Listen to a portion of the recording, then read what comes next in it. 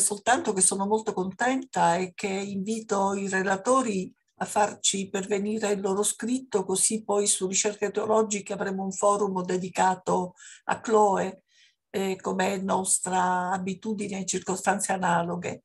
E poi volevo ringraziare Anna perché ha ricordato la cattedra Donna e Cristianesimo che io viceversa avevo completamente cassato. In effetti è la cattedra Donna e Cristianesimo in sinergia con la SIRT che organizza questo incontro. E, e tu ricordavi il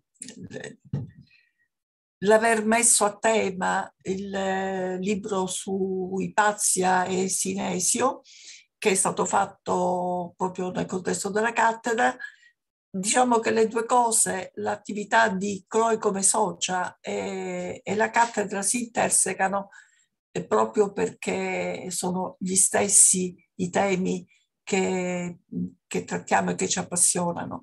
E poi sono molto grata, ma mi aspetto quello che dirà Chloe, perché eh, ricostruire il tessuto dei rapporti ha una valenza tutta particolare nella storia delle persone. E, e chiaramente noi che conosciamo Chloe forse più dall'esterno eh, ci mancano determinati dettagli. Allora veramente sono molto grata ai, a, a quelli che sono intervenuti perché ci hanno dato una sfaccettatura, una collocazione, un rapporto di esistenzialità, eh, un tipo di concretezza eh, che ce la rende ancora più affascinante e, e più cara.